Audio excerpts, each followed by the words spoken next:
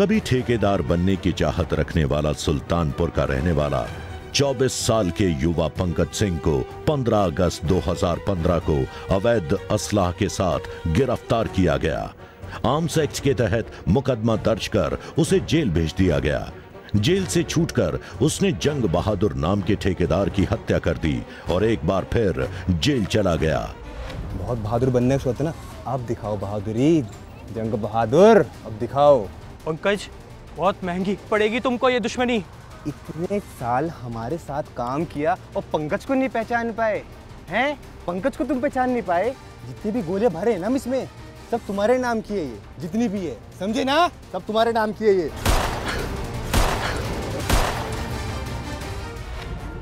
इसके अपराधों की लिस्ट में एक ट्रिपल मर्डर भी शामिल था।